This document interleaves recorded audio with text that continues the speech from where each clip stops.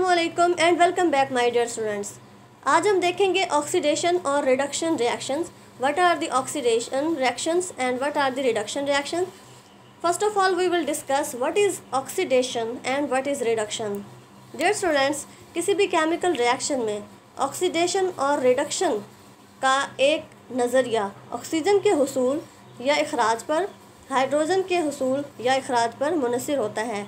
Means यहाँ पर या तो एडिशन ऑफ़ ऑक्सीजन होती है और रिमूवल ऑफ़ हाइड्रोजन होती है या फिर रिमूवल ऑफ़ ऑक्सीजन और एडिशन ऑफ़ हाइड्रोजन होती है।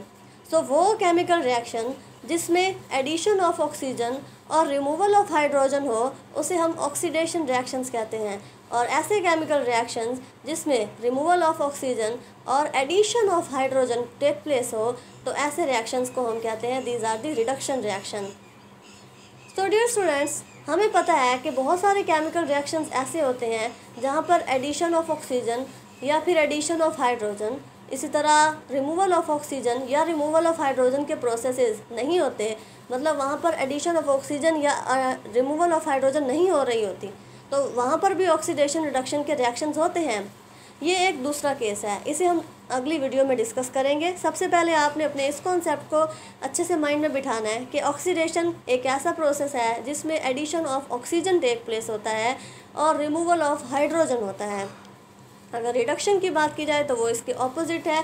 यहाँ पर क्या होता है? Removal of oxygen and addition of hydrogen so this is simply oxidation and reduction reaction कुछ केमिकल रिएक्शंस ऐसे होते हैं जहाँ पर ऑक्सीडेशन और रिडक्शन का प्रोसेस सेम टाइम में हो रहा होता है। मतलब सेम टाइम में ऑक्सीडेशन भी होती है और रिडक्शन भी होती है। बेसिकली डेयर स्टूडेंट्स ऑक्सीडेशन और रिडक्शन रिएक्शन जो है, जहाँ पर ऑक्सीडेशन होती है, वहाँ पर रिडक्शन भी होनी होती है।